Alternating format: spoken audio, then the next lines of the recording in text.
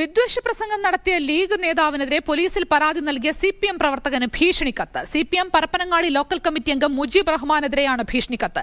കഴിഞ്ഞ ദിവസം കോഴിക്കോട് നടന്ന വക്കഫ് സംരക്ഷണ റാലിയിൽ പ്രകോപനപരമായി സംസാരിച്ചതിന് ലീഗ് സംസ്ഥാന സെക്രട്ടറി അബ്ദുൾ റഹ്മാൻ കലായിക്കെതിരെ മുജീബ് വെള്ളയിൽ പോലീസിൽ പരാതി നൽകിയിരുന്നു. ഇതിന്റെ അടിസ്ഥാനത്തിൽ പോലീസ് കേസെടുത്തിട്ടുണ്ട്. പരാതി പിൻവലിച്ചില്ലെങ്കിൽ ആക്രമിക്കുമെന്നാണ് ഭീഷണി. പ്രസംഗത്തെ വിമർശിച്ച് ഫേസ്ബുക്ക് പോസ്റ്റ് ഇട്ട ഐ എൻ എൽ സംസ്ഥാന സെക്രട്ടറി കാസിം ഇരിക്കൂറിനും സമാന ഭീഷണിയുണ്ട്. സിദി ഹാജി ടൈഗർ ഫോഴ്സ് എന്ന പേരിലാണ് കത്ത്. കോഴിക്കോട് ബീച്ച് പോസ്റ്റ് ഓഫീസിൽ നിന്നാണ് കത്തയച്ചിരിക്കുന്നത്. ഇരുവരും പോലീസിൽ പരാതി നൽകി.